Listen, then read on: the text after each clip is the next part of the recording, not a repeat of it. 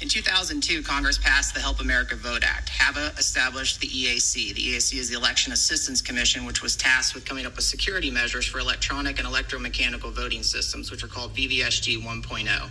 From 2005 to 2017, these were the standards by which our voting systems were to be certified.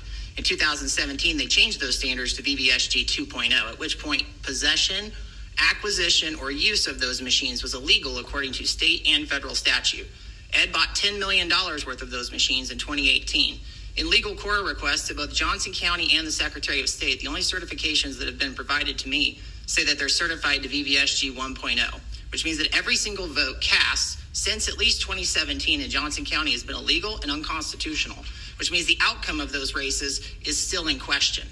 So the question is you committed a crime by buying them, you've allowed them to continue to be used, and now you're going after the sheriff for looking into valid voter fraud claims. And why is this a big deal? Cherokee County, Kansas uses the same voting systems we do. They just discovered when the clerk put the thumb drive into the machine to tr- retrieve the votes, it flipped the votes.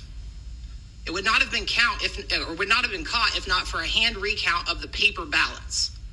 You did not allow us to do that on Saturday. We had to do photocopies of digital images of the ballots, which means there's no way to catch voter fraud because we know now that those images can be changed with a thumb drive. We know the outcome of an election can be changed with a thumb drive, but you won't let the sheriff view the log files, view the ballots, or actually do his job. And now you're trying to defund him. So the question is, what are you hiding? Because I just proved that every vote cast on Tuesday was illegal. And I have all the source documents. I've provided them to all of you.